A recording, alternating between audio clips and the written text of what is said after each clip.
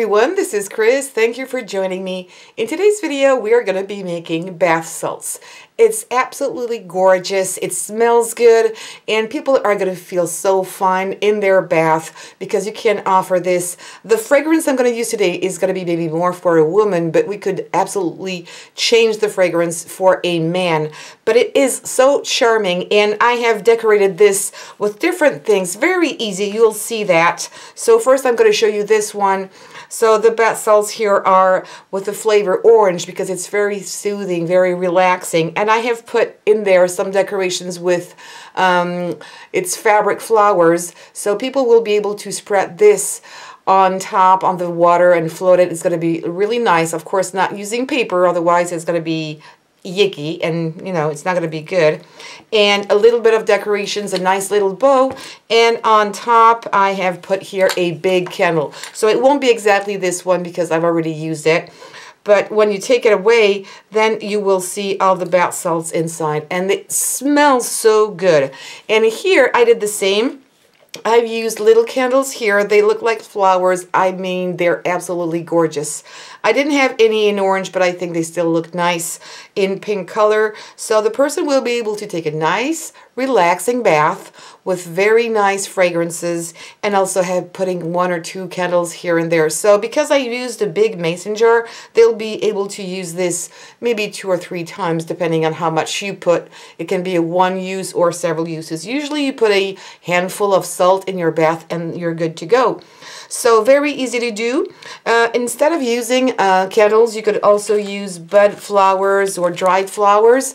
Um, and I will tell you a few things I wouldn't use because I don't think it's very convenient for the recipient.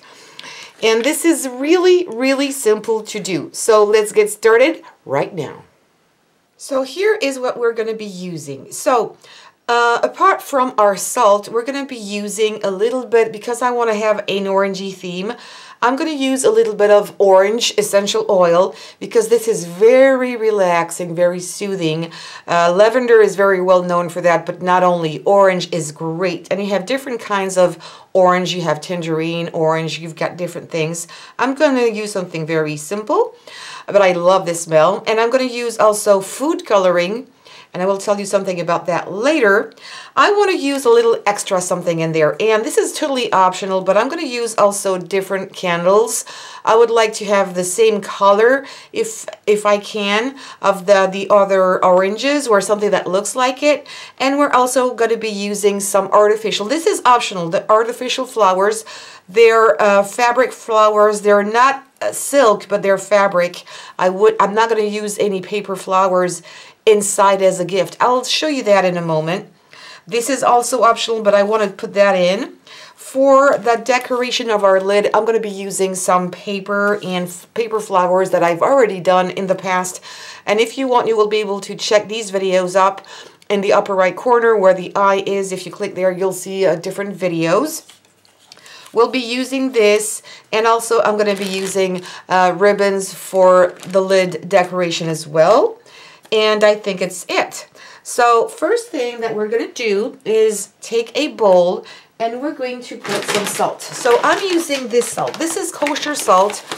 Of course, you can use Epsom salt if you can find that. Depending on the countries you are, it's not always easy or it can be also very expensive. This one is five kilos, which is, makes about 10 pounds, and I bought it under $2, 2 euros, which is really cheap, and it's really thick. It looks like Epsom salt, and it's salt anyway. It's pure salt, um, so it's going to do the trick. So first you measure, you put the salt into your container, and then you spill it in. Don't fill it up to the top because we're going to put goodies in there. All right, that's just about the right measurement. And then I'm going to start using my food coloring. Food coloring is the best thing to use in here. It's absolutely perfect. Uh, don't put too much though, because what is going to happen if you put too much, if you want to really have a bold color, it's going to stain your bathtub. You're going to have, the person, the recipient is going to have to clean up the whole mess because it's going to stain. It's not so much going to stain the body, the skin, but it will stain uh, the, the bathtub. And I don't think it's cool when somebody has just been relaxing for a while to make that person clean up the whole mess. So put few little drops at a time And then if you need a little bit more, you'll be able to add more. Uh, but you can't take it away. So I'm going to mix this very well. All right, I'm going to call it good. And as you can see, there's some darker spots and lighter like these haven't got any color, which I like. Nothing is even. I like to have this contrast and it smells so good. My goodness, if you could smell this, this orange is absolutely a pureness. Oh gosh. I'm, I think I'm going to take a bath very soon with, with, with, just that. That's usually what I do in winter. I don't take so many baths in summer because it's too hot. So now that we're done with this, we're going to put our essential oils. So again, I'm not going to give you any measurements because it really depends on your container, if it's big or small. But I'm probably going to put at least, let's say, 15 to 20 drops. And then we'll put it back into our container so the smell will not evaporate too quickly. And we're going to mix that again. Okay, I'm going to call it good. So the quantity that you put in a bath, I mean, it's totally up to the person. Usually it's about a handful of salt. So if you have a big container like this one, the person will be able to use it several times. So that's also nice. It's, it's just it's not just one time um, use. So now that I have done this, I'm going to put this aside just a second and we're going to decorate the lid. So I'm going to put, I'm going to take this and I have already cut out a circle with my dies. And I also have these paper flowers on hand that I, I usually make them, um, you know, sometimes in front of a TV show. So I'm not totally losing my time. So first I'm going to glue this down. And I'm just going to use double-sided tape. So the person will be able to take this, uh, this tag away if she wants to reuse the container for something different. Now I'm going to put, I'm going to use a little bit of liquid glue. It's going to be just fine. And right up on the top here. And I'm going to fluff it up. I could have used hot glue as well.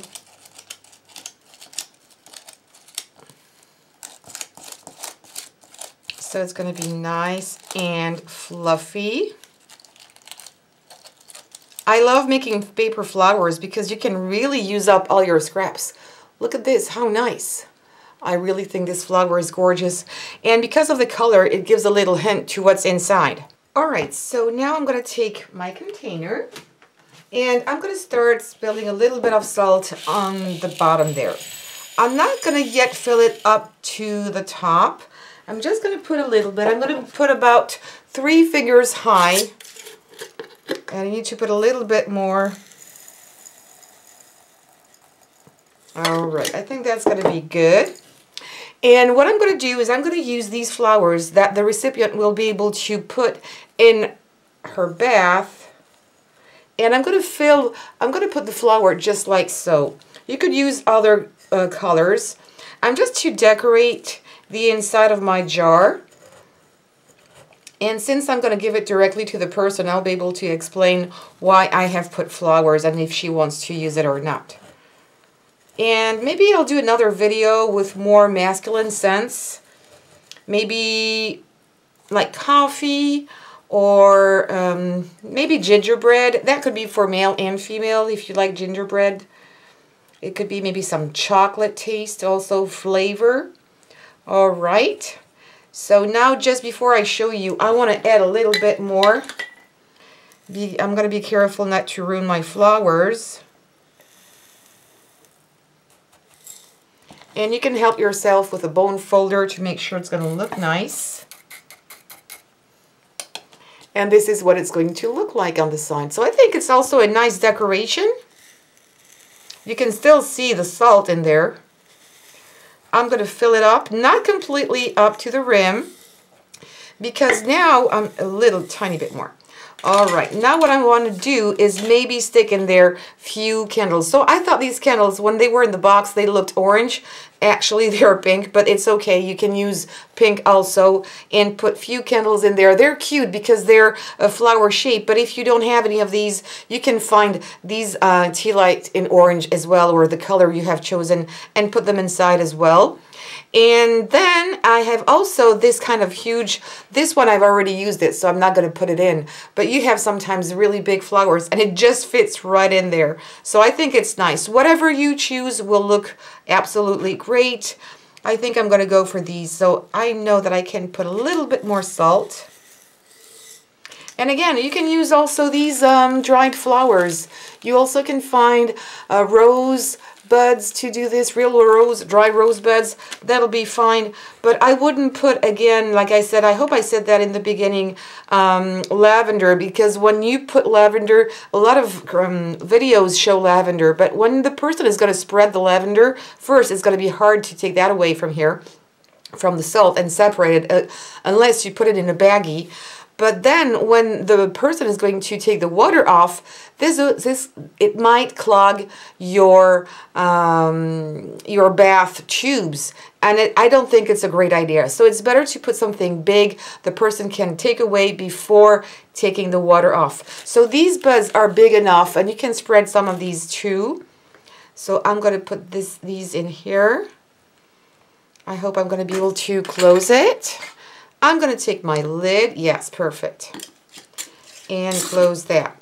Look at that, how nice it is with the little flowers. I mean, it really looks cute. And now we're going to decorate it, so I'm going to use a little bit of this ribbon.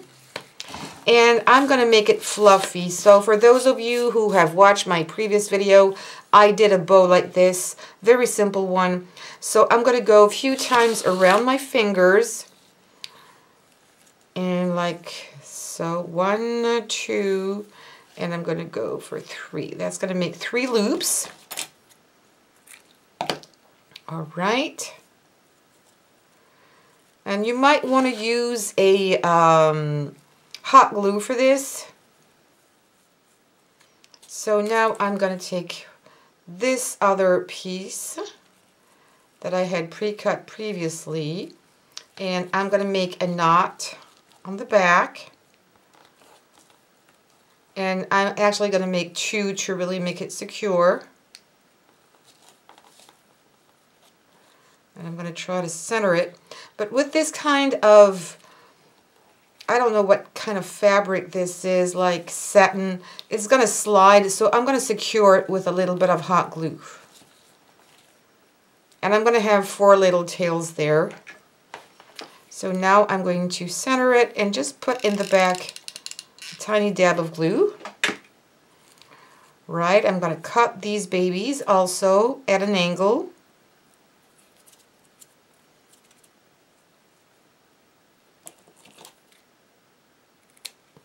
Like this. I like the way it looks. I'm supposed to have four, one, two. Oh, there it is. This one is smaller.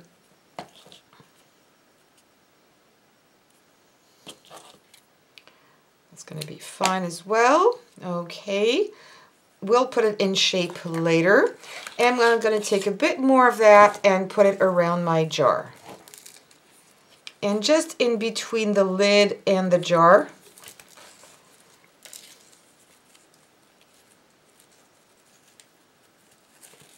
Okay, I'm going to cut it there.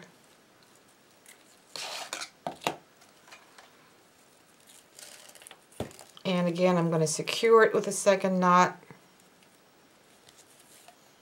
All right.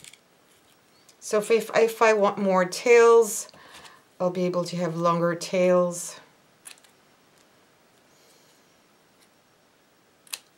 That's good. And I'm going to glue this baby on. And I'm going to let this tail go, go down also. Okay. A little bit of glue. I'm going to put the tail back in there. Here. And more glue there. And, oops, here. Now I'm going to open it up a little bit so it's going to make it really fluffy and have more volume, 3D look. I'm still holding my finger in the middle so it's not going to go anywhere. Yeah, I like it this way. And I'll have these two long here. Play a little bit with it. I'm not taking much time, but you can play with it a little bit. And in the center, I was thinking of maybe putting this again, but it's going to be too big. So I'm going to use something different that I have. And I've got these little flowers here. They were supposed to be orange, but they look a little bit pink on the camera. I don't know why. But I'm going to put one of these in the center.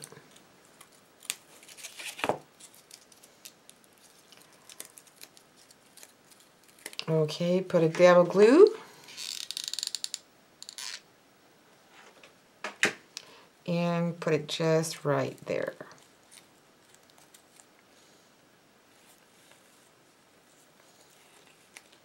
How gorgeous is this? I mean, really, you didn't take, it didn't take a lot of time. It didn't cost you a lot of money. And it's so nice. Paper flower, paper flower, um, satin or, you know, artificial flowers, a little ribbon, a mason jar or a recycle jar, and you're going to make somebody really happy with little candles inside. I mean, this is I mean, when you look at it, when you smell, and then when the person is going to use it, is going to be absolutely awesome. And I'll try to find, again, maybe some more masculine taste for this, because that also could be another gift for maybe Father's Day, why not, for a change when you don't know what to do. It's really, really nice. It doesn't have to be only for ladies. I just love this. So please give me some thumbs up for this video. Do subscribe and don't forget the bell button. And uh, find out all my other videos. You know, when you click on the upper right corner, like I said, or in the end, I have more suggested videos if you want to check them out too. Don't forget to comment and share on social medias. Thank you so much. Take care and see you soon.